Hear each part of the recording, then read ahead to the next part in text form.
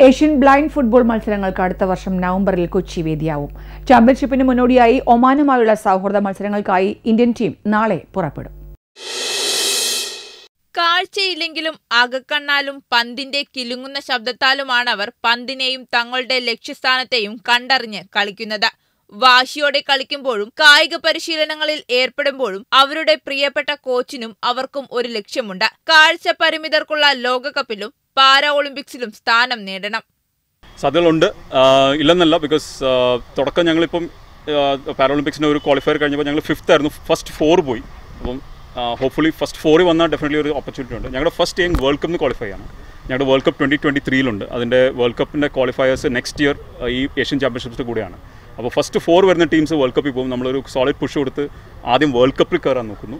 പിന്നെ അവിടുന്ന് പാരാളിമ്പിക്സ് ചടങ്ങിൽ ഇന്ത്യൻ ടീമിന്റെ jersey Hibi Eden M P പ്രകാശനം ചെയ്തു. ജേഴ്സിയിൽ ഇതാദ്യമായി ഇന്ത്യൻ എന്ന ബ്രൈലി ലിപിയിലാണ് എഴുതിയിരിക്കുന്നത്.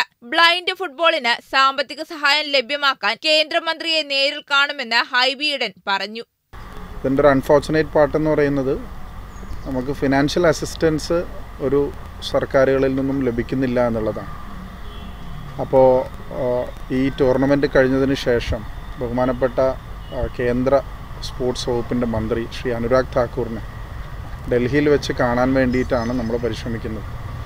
ഈ നാഷണൽ ഫുട്ബോളിന്റെ ഒരു പൊട്ടൻഷ്യൽ അവർക്ക് പറഞ്ഞ് ഈ ബ്ലൈൻഡ് ഫുട്ബോളിന്റെ ഒരു പൊട്ടൻഷ്യൽ പറഞ്ഞു കൊടുത്ത് നമ്മൾ സ്റ്റേറ്റ് ഗവൺമെന്റിന്റെയും സെൻട്രൽ ഗവൺമെന്റിന്റെയും എല്ലാ പിന്തുണയും ഞങ്ങൾ ആവശ്യപ്പെടുകയാണ്.